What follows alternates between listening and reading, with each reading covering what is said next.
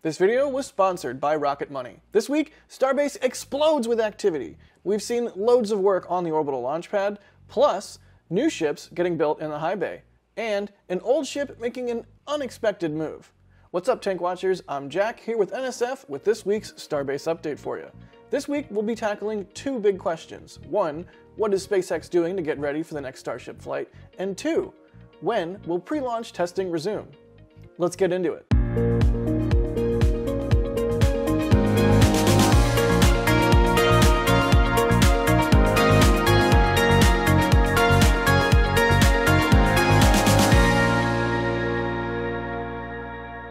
Course, not everything in Starbase is about the next launch.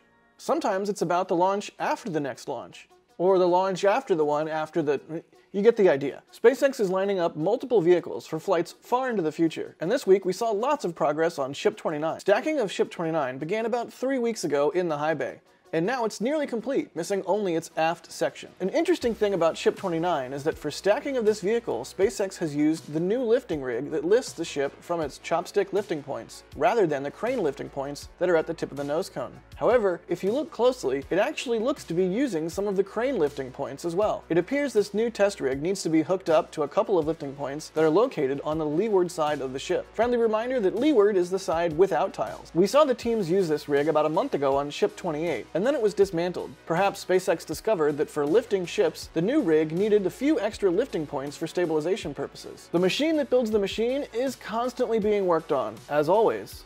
Right next to Ship 29 in the high bay is Ship 28. Ship 28 has been having a bit of quiet time inside the high bay, with workers setting up scaffolding around it and seemingly preparing it for when it undergoes its own round of testing. You can see it's still missing its aft flaps, so despite being fully stacked, SpaceX doesn't appear to be worrying too much about that part of the hardware installation process. Clearly, they're paying more attention to other kinds of work, of course, we can't really tell what most of this work entails without somehow sneaking a camera inside the high bay. If only SpaceX would tell us what kind of stuff they do to these vehicles at this stage. Right next door to the high bay, at the Mega Bay, Booster 9 and Booster 10 are still awaiting their time to shine because, you know, they're stainless steel, so they shine, of course. I'm sorry. SpaceX appears to be preparing Booster 9 and Booster 10 for their own respective upcoming test campaigns. Booster 9 engine and shielding installation should be wrapping up if it hasn't been finished already. We could see Booster 9 heading to the launch site as soon as the orbital launch pad is once again ready to withstand the force of Raptor engines firing against it. Also in the Mega Bay is Booster 11, which is a little more shy than its shiny siblings,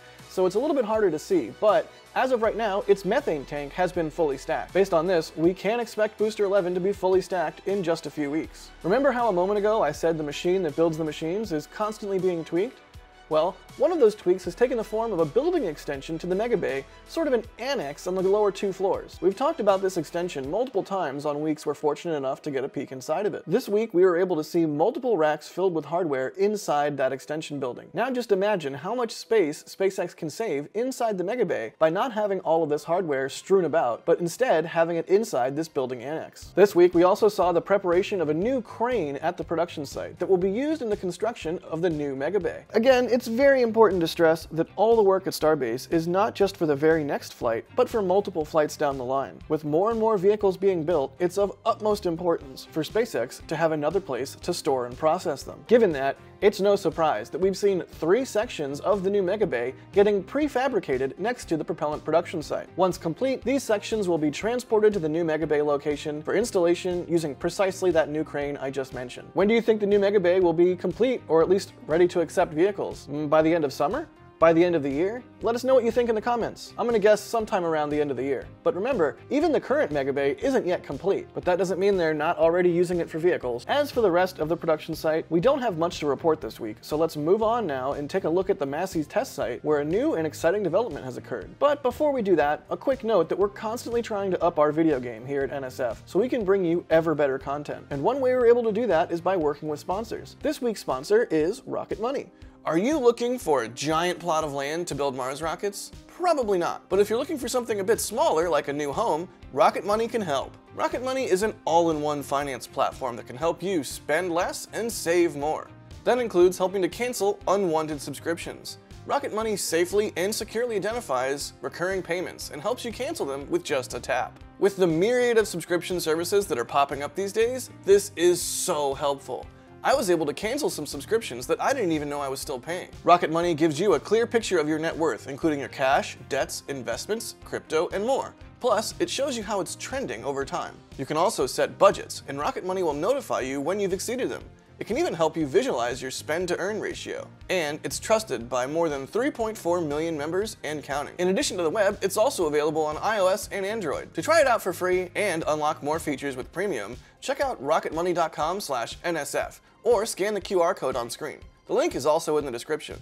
Thank you to Rocket Money for sponsoring this video. All right, now let's move over to Massey's. By now, you probably know that one of the biggest hurdles for SpaceX to jump over for the next Starship flight to happen is the recertification of its flight termination system. SpaceX seems to have tested the B6 test tank at Massey's this week, and here we see the aftermath of what appears to have been a pretty violent test. This result is precisely the one that we would have hoped for. After all, the main issue with the FTS system on Starship during its first flight was that it didn't efficiently terminate the flight.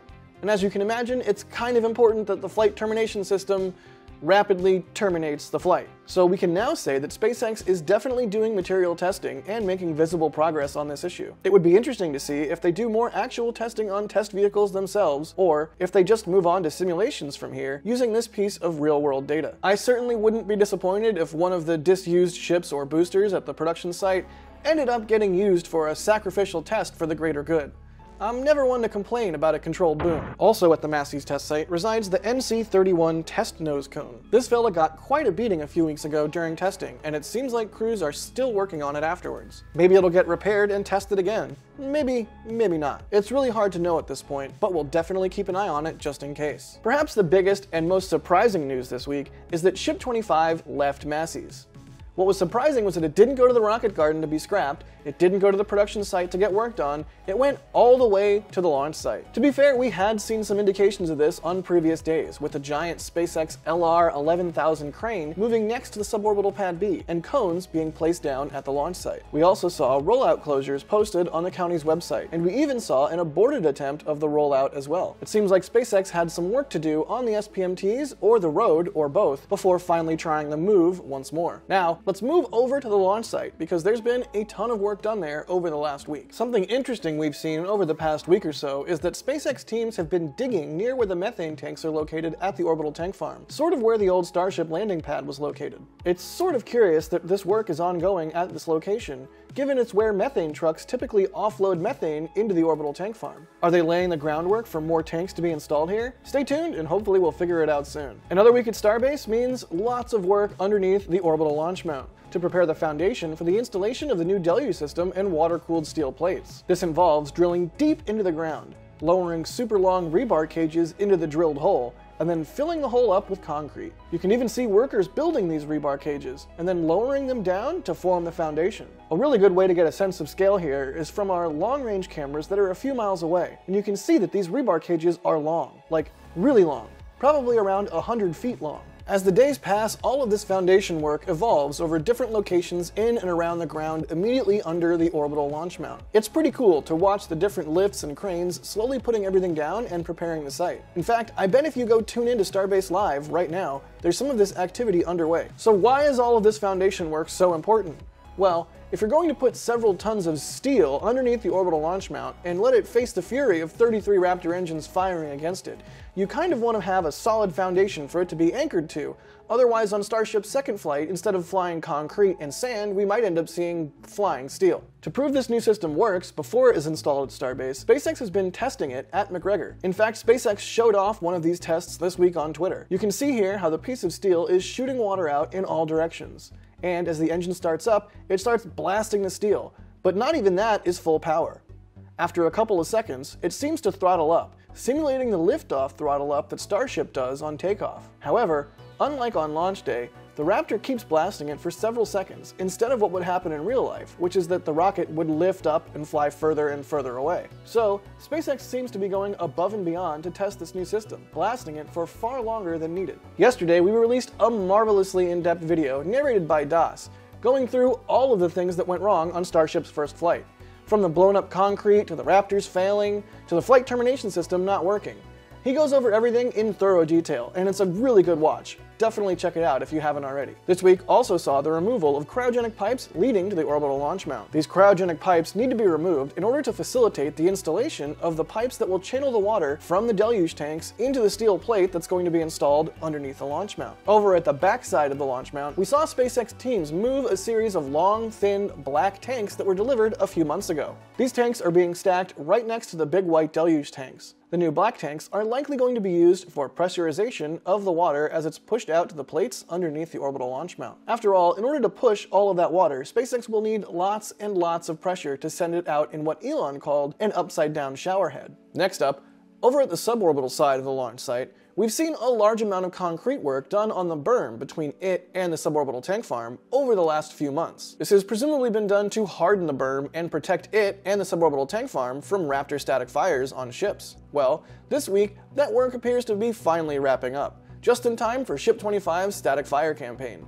That's right, I said Ship 25's static fire campaign. And we know it is going to be a static fire campaign because SpaceX themselves confirmed it. Right after rolling to the launch site, SpaceX tweeted Ship 25 has rolled out in order to perform a six engine static fire test. This begs the question though. Is Ship 25 actually going to fly, or is this just some testing that's being done in the interim before they test the actual next ship to fly?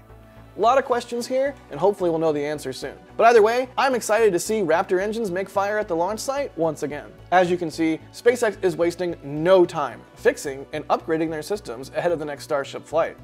They're firing Raptors at water-cooled steel plates, working on FTS fixes, doing foundation work at the orbital launch mount, and, of course, moving Ship 25 to the launch site for static fire testing. Thanks again to Rocket Money for sponsoring this video. Don't forget to go to rocketmoney.com/nsf or scan the QR code on screen to unlock more features with Premium for free. With Starbase abuzz with activity, I'd be remiss if I didn't do the YouTube thing and ask you to click the subscribe button or the notification bell if you haven't already. That way you can stay on top of all of the latest developments leading up to the next Starship test flight. And be sure to check out Das's mega video on everything that went wrong with the first Starship test flight. That's going to be right here.